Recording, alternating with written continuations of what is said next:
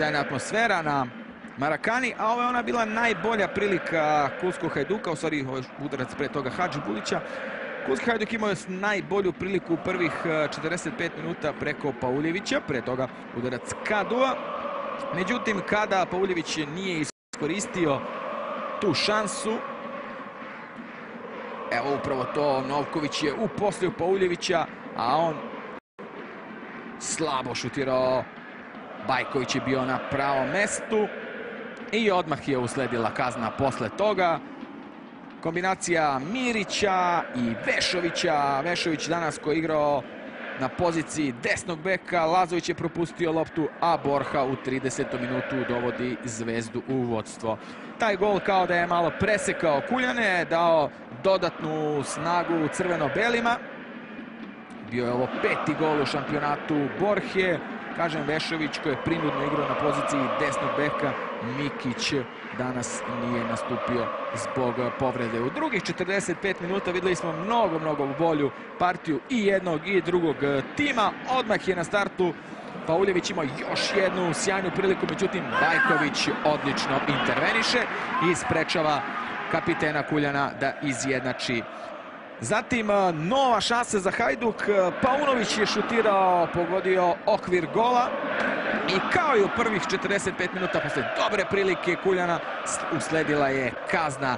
Centar, e, korner je izveo Lazović, lopta došla do Mladenovića, a on sa nekih 25 metara sjajno pogodio gol Hajduka iz Kule i to je bilo 2-0 za Crvenu zvezdu, drugi gol u sezoni i drugi gol ovog proleća za Mladenovića. Ponovo fantastičan udarac iz koraka. Mladi reprezentativac. I mislim da je u tom trenutku već bilo rešeno pitanje pobjednika, međutim nisu se predavali Kuljani, imali su još nekoliko solidnih uh, poluprilika ali imala je dosta prilika i Crvena zvezda. Mladenović je razigrao posle tog postignutog gola. Evo još jednom je pokušao, imao nekoliko sjajnih e, centar šuteva. Još jednom je Mladenović prošao po desnoj strani. Ovde je tražio Lazovića, međutim Govan Perić je odlično intervenisao. I onda treći gol Zvezde.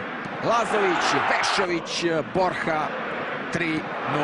Ponovo ta sjajna kombinacija Vešovića i Borhe. Druga asistencija Vešovića, drugi gol Borhe za konačnih Crvena zvezda Hajduk 3-0. Kažem, gledali smo mnogo, mnogo bolju partiju drugih 45 minuta. Zvezda zasluženo slavila, iskoristila sve svoje prilike.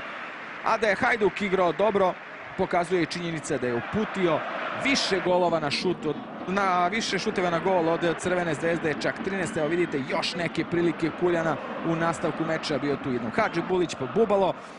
Ne znam da li ćemo vidjeti i evo, to je onaj najlepši potez možda i na utakmici Hadži Bulić makazicama, ali nisu imali Kuljani sreće da postignu večeras pogodak.